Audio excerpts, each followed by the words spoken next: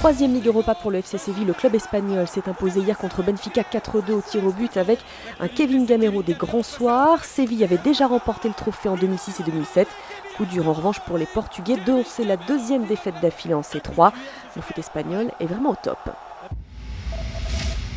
On reparle de Samir Nasri ce matin et on vous en dit plus sur sa non-sélection. Selon nos infos, il aurait passé ses nerfs sur un membre du staff médical de l'équipe de France juste après la défaite de 0 en Ukraine. C'était au mois de novembre. Plusieurs joueurs auraient alors rapporté l'épisode à Didier Deschamps, lui suggérant que l'ensemble du groupe souhaite écarter l'ancien Marseillais. Et si l'histoire se répétait entre Leonardo et le PSG, le club est toujours à la recherche d'un directeur sportif et le Brésilien n'est pas hostile à un retour. Reste à savoir si c'est une bonne idée ou pas. Leonardo et le PSG, et si l'histoire recommençait Au sujet d'un retour à Paris, le dit lui-même, tout est possible. Selon le quotidien La Gazzetta dello Sport, il y aura même déjà eu des contacts avec la direction du club de la capitale. Avec le Brésilien, c'est peut-être l'assurance de voir à nouveau des stars arriver à Paris.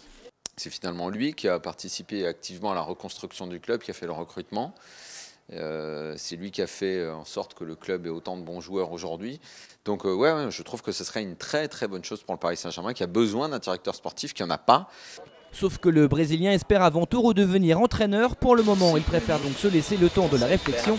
Si son arrivée est officialisée, cela pourrait poser en tout cas certains problèmes en interne. Ça n'a aucun sens à partir du moment où euh, on a fait re-signer Laurent Blanc et qu'on lui donne euh, les clés euh, du vestiaire et qu'on lui dit vas-y travaille, on te donne deux ans pour, pour nous gagner une Champions League. C'est très très bizarre comme annonce en fait. Mais pour en savoir plus, il faudra déjà attendre le 30 mai, la date où le tribunal administratif tranchera définitivement dans l'affaire qui l'oppose à la Fédération française de football. Alors encore directeur sportif du club parisien, Leonardo avait asséné un coup d'épaule à un arbitre, ce qui avait entraîné ensuite son départ de la capitale. Deux infos. Ligue 1 avec Monaco d'abord, qui a trouvé le successeur de Ranieri. Ce devrait être Leonardo Jardim. Le coach du Sporting Portugal va s'engager deux ans. Un accord de principe a été trouvé avec une clause libératoire estimée à 5 millions d'euros. Et puis la poisse encore est toujours pour Johan Gourcuff de nouveau blessé. Le meneur de l'OL s'est donné une entorse à la cheville droite en promenant son chien.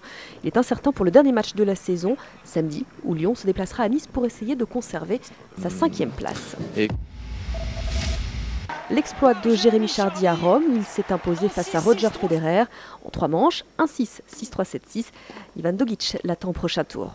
Moi c'est quand même Roger, donc c'est quand même la, plus belle victoire de ma carrière parce que voilà, pour moi, Roger, c'est le plus grand joueur de, tous les temps et c'est le joueur que je préfère aussi en tant que joueur. Donc euh, voilà, pour moi, c'est vraiment la plus belle des victoires.